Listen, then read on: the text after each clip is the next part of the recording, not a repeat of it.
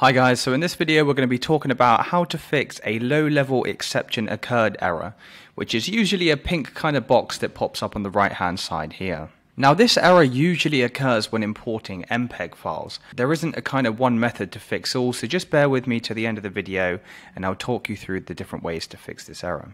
Now aside from obviously restarting the application, the first thing you want to do is you want to change the render settings. So you want to come up to file in the top left hand corner and go down to project settings and then click the general tab.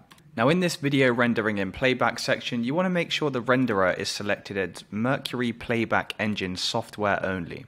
Now what this will do is it will just help with the overall speed of the app and the playback settings. The next thing you want to do is to clear your media cache. So get off this screen here and we're going to go up to edit, preferences and select media cache.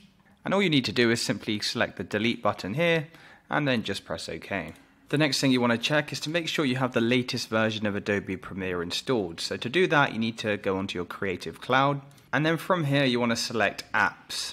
And then if there's an update available, you'll see the text here, Update Available for Premiere Pro. If I select that, then I can install the latest version. Now, if you're still experiencing the error message, another effective way to get rid of it is to come up to Edit here and then into Preferences and then select the Media tab. And what you want to do is you want to deselect the hardware accelerated decoding and then click OK. This will require your Adobe to restart. Now if you've followed all of these steps and you've successfully got rid of the error message, then please drop me a like.